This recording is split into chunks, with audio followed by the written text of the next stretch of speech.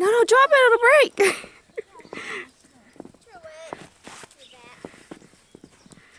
I'm gonna have to help y'all again.